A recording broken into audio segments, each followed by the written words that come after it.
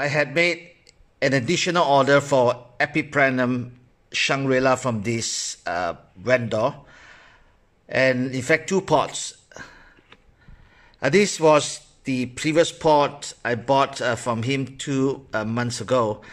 And um, you can see that it is healthy, it's growing and that gave me some confidence to uh, get from him again. Uh, previously, uh, most of this uh, plant was well rooted, but there was one that uh, the root was not so strong, and due to sogginess, uh, there was some rot. But thankfully, it's soft. So I'm going to unbox this two Shangri-La Epipremnum, and we'll see what's inside.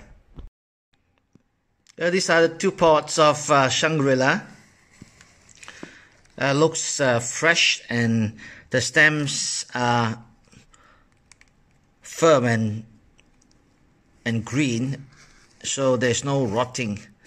Uh, this is the uh, second pot uh, also looks green. Well these pots will wrap in a plastic outer layer together with a inner layer of uh, newspaper. And the pot is also wrapped all around uh, with uh, a plastic layer and uh, the soil is covered with newspaper.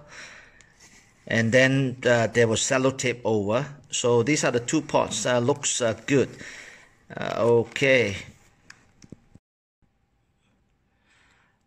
Well I've just teased these two plants out from the pots.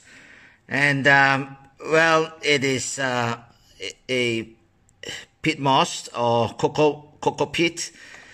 And uh, the roots are quite good uh, for this pot but excellent for the second pot.